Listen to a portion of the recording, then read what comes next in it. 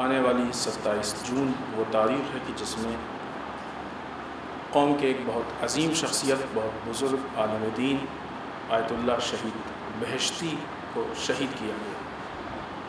نہ یہ کہ صرف شہید بہشتی بلکہ ان کے ساتھ ان کے بہتر ساتھیوں کو شہید کیا گیا۔ شہید بہشتی یقیناً شیعہ قوم بالخصوص بلکہ بالعموم مسلمانوں کے لیے ایک بہت عظیم سرمایہ تھا۔ امام خمینی نے شہید بہشتی کے لیے کہا کہ یہ ایک ملت ہے یعنی اتنی عظیم شخصیت۔ شہید بہشتی کو ہم اپنے جوانوں سے کہیں گے چونکہ موقع بھی نہیں ہو ممکن بھی نہیں کہ خطبے میں تفصیلی گفتگو کی جائے۔ آپ جائیں اور ان کے حالات زندگی کو پڑھیں۔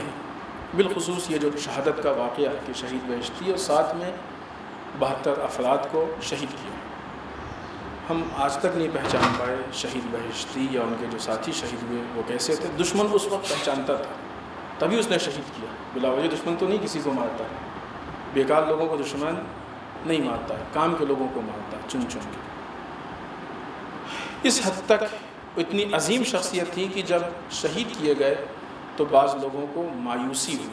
ابھی یہ شہید بہشتی اور اتنی عظیم شخصیات اس دنیا سے چلی گئی ابھی کیا ہوگا اسلام کا؟ لیکن واقعی اس وقت امام خمینی موجود تھے اور امام خمینی کا وہ توکل ظاہر سی بات ہے کہ جو اللہ ایک بہشتی بنا سکتا ہے، وہ دوسرے وسائل و اسباب بھی فراہم کر سکتے ہیں ٹھیک ہے، شہید بہشتی کی جو کمی ہے، وہ محسوس ہو رہی آج بھی محسوس ہو رہی وہ جگہ اس اعتبار سے نہیں پوری۔